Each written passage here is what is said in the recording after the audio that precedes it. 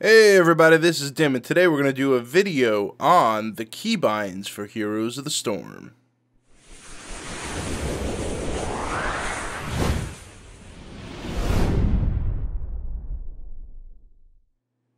Alright guys, so this was actually inspired by a post on the Heroes of the Storm Reddit, which if you haven't gone there, you really should. It's got tons of awesome information. But uh a user Andthewolf posted a guide of all the useful hotkeys, and I found that I actually didn't know a lot of the hotkeys that he posted, so maybe you guys don't either, especially for you guys that are new to MOBAs, and I've said this before, but this is my first real MOBA experience.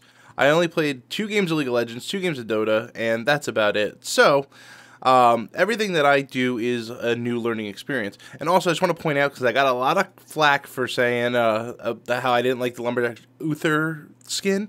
Here, I'm playing it for you guys. See, I told you I was going to buy it. So get off my case. I don't like the skin, but I, I still supported Blizzard and got the skin, okay? So anyhow, the first talent, the first thing that I want to cover is the talent spec. A lot of people actually posted on the forums saying that they wanted an ability to train the talents without having to go over here and click. So you actually can do that. So what you have to do is counting from the top, one, two, three, four, if you hit Alt and then that, uh, that corresponding talent number, will actually get you a talent spec. So I'll hit Alt 1 and that'll spec me into Path of the Wizard. Now you can do that completely hands-free eh, or completely mouse-free and quick access, especially in the heat of battle. The next thing I want to cover is there is actually a in-game frames per second monitor. So you hit Control Alt F, and if you notice in the top left-hand corner of the screen, I'll go. It's super small, but it'll give you the frames per second counter and the temperature of your GPU. It's good information to have, although it is quite small, and it's not adjustable. It's either on or off. Now, the next thing I want to do is cover the camera controls. By default, the constrained camera uh, is set here so your hero never actually leaves the screen. Now, this is great for the first couple games when I I would be playing and my I my hero wouldn't even be on screen. I wouldn't even know what I was looking at. However, you really don't want that. It is super limiting. So to free that up, you just simply hit the C button. It'll say camera follow disabled, and you can move your camera anywhere you want. So again, that's with C. And if you want to put it back, you just simply hit C again. That's also useful if you're moving around the map and you want to go ahead and constrain the camera again, quickly hit C, and it'll put your character right back in the frame if you lost sight of them or something like that. Now, to go a little bit further with the camera controls, you can left click anywhere on the mouse or anywhere on the map. When you want to go back to your character, simply tap the spacebar. That's it. That's a nice little camera control move that, you know, you don't have to go, okay, I want to go back and see my character. I'm going to go across the map. No. Just hit spacebar. Now, the next thing, which is kind of more useful to me in beginning of the match, however, uh, you could do it in the you know, during the match as well. Say if I want to keep an eye on this Dragon Shrine, which is a good example to use this. If I hit Control F5 through F8, so Control F5, it'll actually set a viewport on my, uh, it'll actually give me a hotkey to this area of the map. So if I wanted to, say if I wanted to watch this shrine, I can hit Control F6, and now I have F5, F6, spacebar, and I have access to those two different camera viewports, and I can change them anytime in the game just simply by hitting Control F5 again, uh, would overwrite the, the existing F5 map. Now, in order for that to work, you do need the camera follow disabled, because if I hit with the camera follow on, it immediately snaps back to my character, no matter where I am. So you do need to have camera follow off.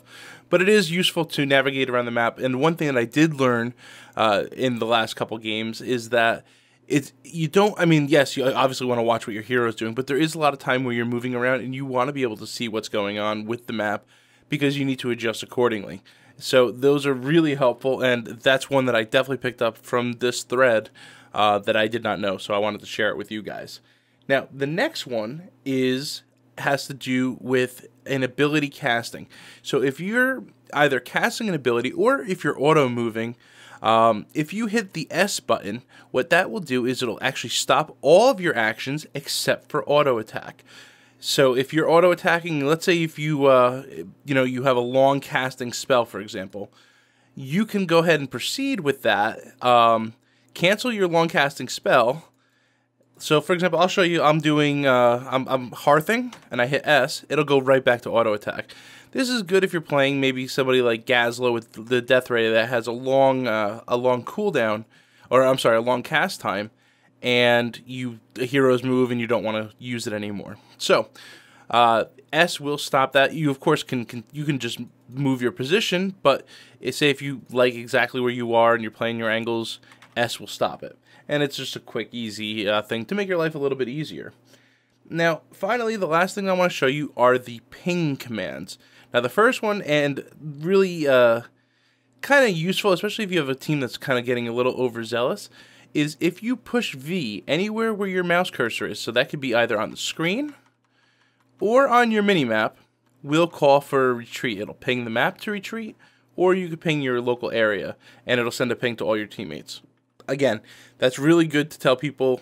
Sometimes you might especially melee you might find them com- overcommitting a little bit. Send them back and this will give them a just something to work on. The next thing is obviously is very basic and that's the basic ping. So obviously if you ping anywhere on the map that will send a flashing ping to your players. Now if you ping directly on say a golem camp or a merc camp it'll automatically say that you want to capture it now the one thing i didn't realize is that there's actually a click menu if you click G and click and hold your mouse, you get a four way scroll for that area. And if you go up, it'll warn a danger. If you go down, it'll ask for assistance. If you go right, it'll tell you that you're on your way. And if you go left, it'll tell you to defend. So that actually adds a little bit more of a dynamic layer to your pinging. So, say for example, if an ally calls and says that they need assistance, instead of going G searching for him and, you know, clicking on it saying you're on your way or typing, you could just simply reply with G, right, or uh, click, and you're on your way. One thing about this, and again, I know this is alpha before you guys start saying, oh, it's alpha, rah, rah, rah, it's gonna be there. I know. But the one thing that needs to happen is the keybinds need to be assignable because, for example, the control F5 to F8, I have really large hands and I can't control F8 with one hand, uh, with my left hand, which I'm using for keyboard controls. I do need to use my right hand take it off the mouse and make that happen. So it would be cool if I can do something like say T as a as a camera option or pretty much whatever I want. It it's just kind of a, a quality of life thing, and I'm sure that it's going to be coming. Again, I know it's alpha, but I, I would like to see customized keybinds. But these are the keybinds right now in Heroes of the Storm that are available and active right now. There's a short video, and again, if you guys have played a lot of MOBAs or if you've been playing Heroes of the Storm or you saw the post, I know it's duplicate information, but it is good to send out to new players for people that may not have known this, or if you got a buddy starting out, just say, hey, these are the keybinds available. So I hope it helped you guys out. Uh, I'm going to be doing a lot of videos, kind of getting used to my MOBA uh, perspective and hopefully it'll give you guys a different viewpoint from the beginner uh, rather than people that have a lot of things that are assumed. Because with this game, let's face it, you're going to get a lot of people new to MOBAs from the Blizzard ecosystem, like myself. Uh, they might have been turned off for LoL or Dota for whatever the reasons were, not necessarily because they're bad games, but it's a lot of. If you go into LoL or Dota right now and you don't know anything about it, you're dealing with 100 characters you don't have any answers to. Whereas for me personally, I went in there and I see Uther, and I know what Uther. I know Uther's supposed to be a paladin. I get that he's melee. Uh, so at least I have a fundamental understanding of what the class should be. Uh, he's not a lumberjack, but he is in this game right now. But uh, yeah, so I hope this help. I hope this uh, helped you guys out. If you liked the video, like, comment, and subscribe so you can get notified of more videos coming. You can also follow me on Twitter at dhimdoes and facebook.com slash dhimdoes. And I'll catch you guys in the next video. Bye.